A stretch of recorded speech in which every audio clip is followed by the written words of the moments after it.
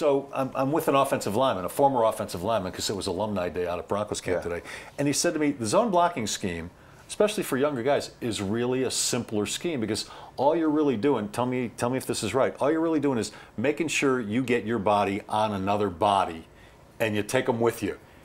You, you don't have to worry about blocking that Yeah, guy, that blocking that sounds guy. too You just, simple. you just, well, that's why I'm asking. Yeah, that- you just find a body and you block him. No, I think that's a little too simplified. Okay. Um, because that's where the center comes in. He comes up, he's going to make a Mike point, and then all of our jobs are based off of that Mike point. Okay, if you're on the backside of a run, you got you know you're going to have the will, or you know. So we have we still have guys. It's just in the in the power scheme. I mean, you're really trying to drive guys off the ball. This these guys are going to start running sideways because they don't know if they're on the front side, the back side, if they're going to get cut. They don't they don't want to penetrate and leave a seam. I think physically it's a little bit easier if you have that skill set. Um, but it's it's it's not uh, just getting someone's way. I mean, that's I think that may be a little too simplified. Okay.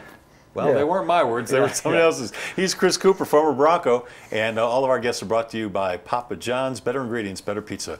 Papa John's.